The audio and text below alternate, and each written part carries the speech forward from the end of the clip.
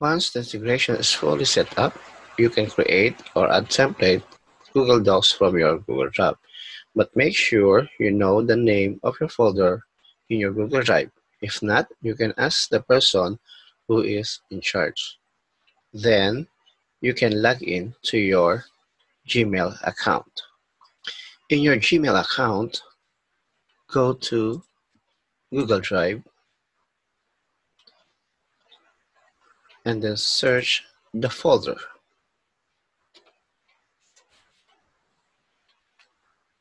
Okay. So this is the folder connected to your ManageBac. As you can see in my screen, I already created five folder for my class. So you can add more folders here. It's easy to create a folder. Just right click and create folder. And then you can click create. So it means that this folder is for your grade 8. Okay. Now, to add template, just open the folder of your class. Okay. I will use exam I will use MYP5 as my example. Okay. So I will open the folder and inside this folder, I can create template for my activity, worksheets, or exam. You can click new to create a new template. Okay, so you can use Google Docs, spreadsheet, or slides. Okay. So this one is examples. Let's say we will write this one as demo. And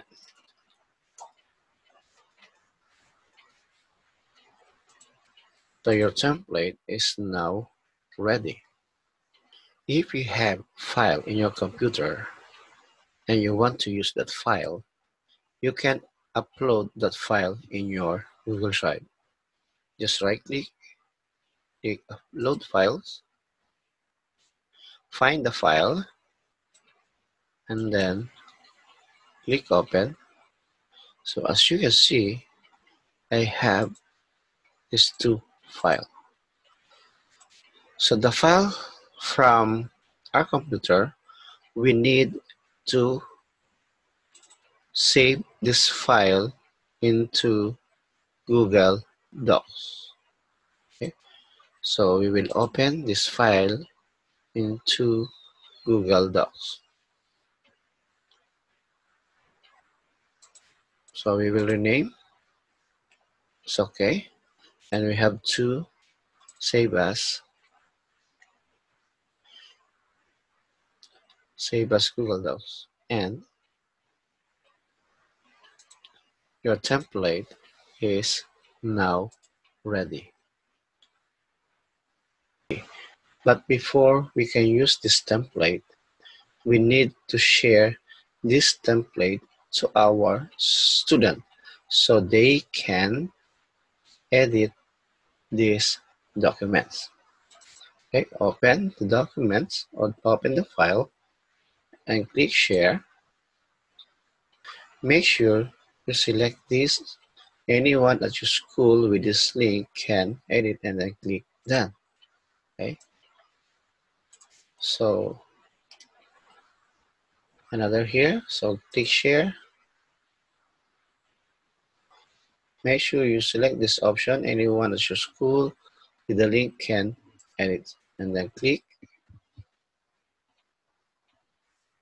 done. And now you are now ready to share these two documents in your students. Okay, now, we are going to add that template to our new task. So select the class and then go to task unit and then click Add New Task.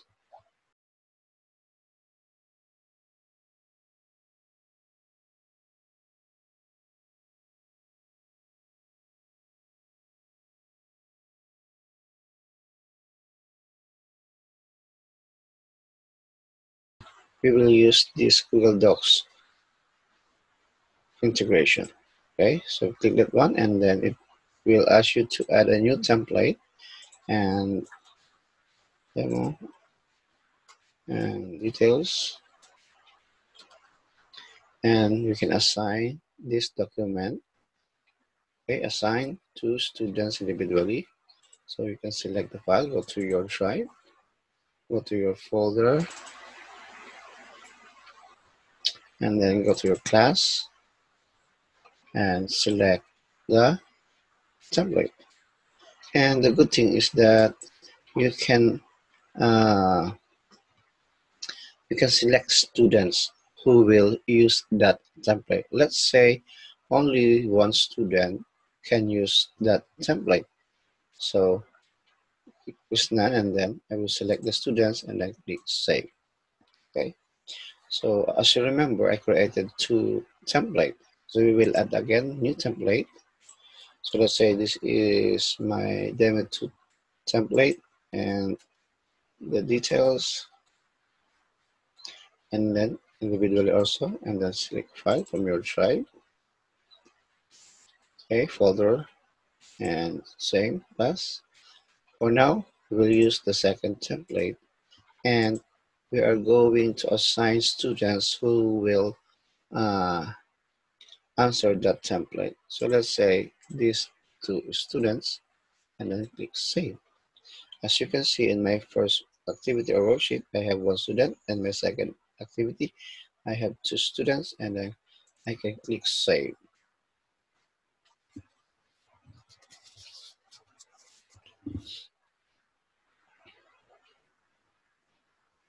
Okay. Now click overview to check if your demo activity is ready. So